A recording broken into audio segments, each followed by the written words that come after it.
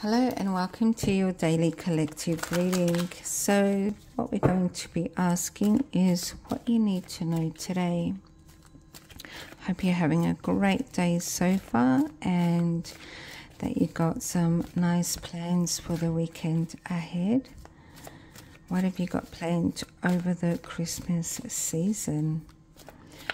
All right, let's have a look what you need to know today. Queen of Pentacles, this could be an earth sign female, Taurus, Virgo, Capricorn. Alternatively, this is someone striving for financial independence. Okay, Queen of Pentacles is usually a, mm, a working parent, somebody who is striving to better their finances. Okay, a wonderful business advisor, a very loyal partner if she is partnered. This is someone who's fantastic in the workplace. She's wonderful at, um, I guess, money, financial situations. She's just fantastic. Next up, we have Ten of Pentacles, which is really, really nice. Um, so, Queen of Pentacles could be coming into a large sum of money. So, the Ten of Pentacles is really about, you know, financial freedom, you know, for the long term. So, she could be striving for this, okay, aiming for it, or she could end up getting a sudden lot of money coming towards her. Wow, that's crazy. King of Pentacles is, I can't believe it. A King of Pentacles is a Earth sign male, Taurus, Virgo, Capricorn, and King of Pentacles is usually the Queen's partner. So this could be talking about an Earth sign couple Okay. Um, alternatively, it could be if you are the feminine, striving for financial freedom, working really hard, uh, or a single working parent, striving for Ten of Pentacles. A King of Pentacles is either you, if you are the masculine, um, you know, could be that you're an earth sign because this is a collective all signs reading. However, I believe there is messages for everyone in my collective readings. So King of Pentacles is achieving that financial freedom. King of Pentacles is the business owner, the financial advisor, the loans officer. This is the person to go to for all business and financial matters. Okay, so very interesting. All right, another Pentacles. So the Queen of Pentacles is slowly progressing towards the Ten of Pentacles, which is the financially free energy. Okay, she's working towards this slowly. She may have been doing so for a number of years. Okay, what's happening with the 10? All right, things are about to take a turn. However, because the Wheel of Fortune is upright, it's telling me taking a turn for the better. Okay, this is the four fixed signs Aquarius, Scorpio, Leo, and Taurus. It could be saying that you are one of those signs, or this could be someone around you doesn't have to be. The Wheel of Fortune is basically a symbol of change, winds of change. Pisces energy in the hangman. The, uh, the hangman is that, you know, this King of Pentacles could be a Pisces. Alternatively, King of Pentacles could have been doing a lot of self sacrifice in order to achieve this financial status. Okay, a lot of self sacrifice, a lot of, you know, um, turmoil, a lot of stop starts, roller coaster rides, ups and downs financially, because the King of Pentacles is all about finances and resources and the earthly realm. And the Hangman is all about self sacrifice, like I said, also things coming to a halt. Things are coming at a standstill all right, let's keep going. Tower. Tower is unforeseen changes. It's a sudden change. Whatever comes next is what the change is going to lead to, and then we'll have the resolution here. So let's have a look what this change is. So, Seven of Wands, Seven of Wands is where we're not backing down, we're feeling persecuted by the outside. Okay, it's like everybody is at you. It could very well be we need this, we need that, we need the other thing, you know, we need more money, you need to pay more taxes, or we need you to do this. And it's all about, um, I guess, a fragmentation of wills. You know, I, I want to do something, but I've got everybody at me this guy is standing on a mountain and everybody else is below him. So he is at the better stance. He can win this. He he's um he's he's got the upper hand. So whatever this tower is, it's really saying that you have the upper hand.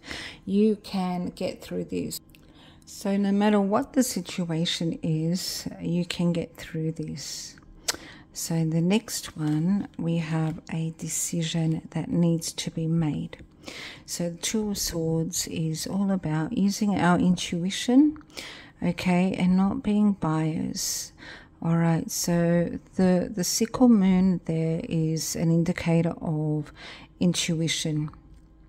Okay, using our psychic senses, following our higher guidance. Okay, crossing the heart. Okay, no bias and using our, you know, I guess our knowledge, our logic as well in regards to doing the right thing, what we, what we feel is the right thing to do in regards to whatever the situation may be. Coming at a standstill, but using a lot of self sacrifice in regards to doing this as well. No matter what, you have the upper hand. Okay, so now let's go ahead and get some more tarot and go deeper into this, shall we? So let's go ahead and see what the Wheel of Fortune is. What is the change in regards to this? What is the change? This one really wanted to come out. Empress could be a mother okay. Empress taurus libra energy. So the empress is all about self-care taking care of oneself. Okay. Self-sacrifice taking care of oneself. So it could very well be saying that yes we've been striving for financial freedom. We've been striving to be the best that we can be. We've been striving to build our business or our career okay, or to find work if that be the case. Empress is time to turn things around, time to take care of yourself, which is a very interesting twist. Now, what is the hangman? Could be a Pisces around you, could be you are a Pisces. Wow, they really wanted to come out. I'll see. There we go. All right, so we got two. We got fast news, that's a wish come true, which is really lovely. It's really about someone coming in and telling you you've achieved your goals, you've achieved your you've you've done it okay so the nine of cups is all about you've done it you've achieved it you can do it okay you've um it's like um, uh, cheers to you. You've done really well. Okay. You've done everything you could and now your wish has come true. And this is coming up quickly. The Knight of Swords is in a matter of days. Okay. Whenever the Knight of Swords comes out, especially even in um, personal readings, my clients often write back within four days and they're saying, you know what, like whatever this Knight of Swords message was, um, it's it's happened. So Knight of Swords, fast news. Okay. So what is the Tower? What is the Tower? A King of Wands. King of Wands is generally a fire sign male. Could be Aries, Leo, or a Sagittarius. Now, King of Wands is generally someone who is boss mentality. Okay, so if this is a workplace situation, uh, King of Wands may be the boss. Now, alternatively, King of Wands may be, like I said, a fire sign male around you, quite dominant, okay, um, loves your attention. now, if you are a fire sign male, this could be you, okay? Very dominant very assertive very powerful.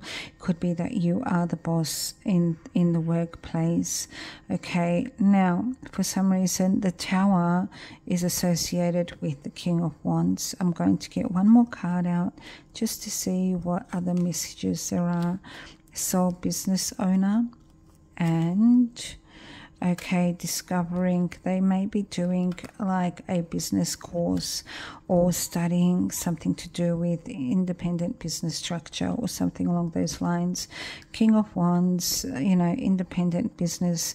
And it, it could even be you know for some of you the king of wands may be dating a um, sole trader or somebody who works independently, maybe a single working parent or something along those lines, um, and they're getting to know each other. Okay, it's a tower, it's like something suddenly connected them for some of you. So there's a few different meanings. So I'm going to get one more card.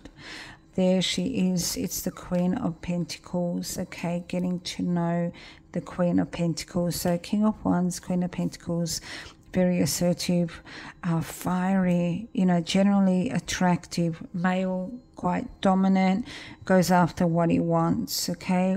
Possibly in management, doesn't have to be Queen of Pentacles, you know, a single parent or somebody who's um, striving for business success.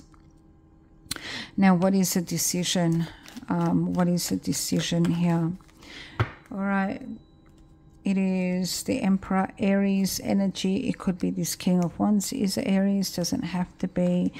Queen of Cups, Cancer, Pisces, Scorpio, mm, female. She's generally someone quite emotional, likes to connect on an emotional wavelength. Okay, Queen of Cups is someone who has a lot of love to give, a lot of um, love to share. She's a natural mother. Okay, not saying that all the other queens are not natural mothers. Of course they are, but she she is someone who would seek out work that would be to do with children, much like in daycare. She could be a nanny, you know, because she loves being around children, the next generation, and watching them grow.